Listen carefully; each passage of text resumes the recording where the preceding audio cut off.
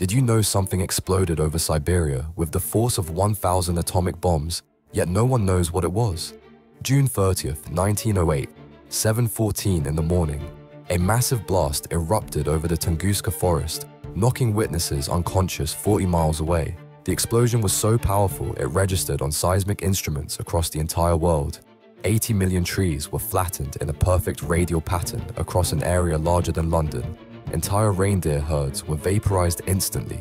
Indigenous Evenk people were thrown through the air like dolls. The sound was heard 1,000 miles away. Yet when scientists finally reached the site 19 years later, they found no crater, no meteorite fragments, nothing. Just devastation on an unimaginable scale. If this mysterious explosion had happened over New York or London, millions would have died. Scientists still debate what caused it comet, an asteroid, something else entirely. The Tunguska event remains one of Earth's greatest unsolved mysteries.